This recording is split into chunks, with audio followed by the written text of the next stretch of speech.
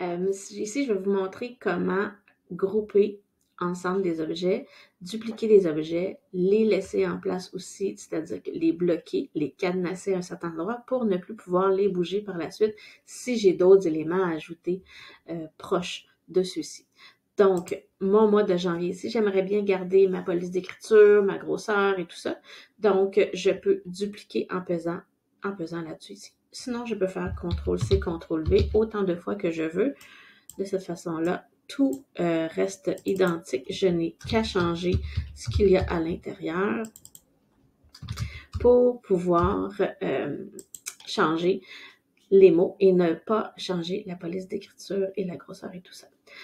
Maintenant, si je veux les garder ensemble ces trois mois-là, c'est-à-dire que je veux toujours qu'ils bougent ensemble si j'ai à les bouger dans euh, ma présentation.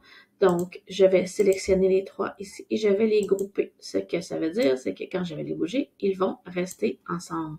Je pourrais aussi décider de les laisser en place. C'est-à-dire que je peux bouger les choses autour, mais ceux-ci vont toujours rester en place.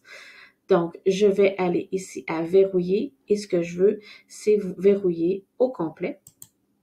Donc, je ne peux plus les bouger. Je peux bouger les choses autour, mais plus euh, mes trois choses que j'ai sélectionnées ici.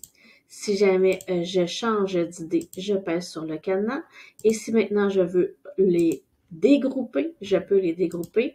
Vous allez voir que si j'essaye, ah, ils sont encore ensemble, mais je dois passer par celui, euh, je dois cliquer à côté et passer par en dessous comme ça.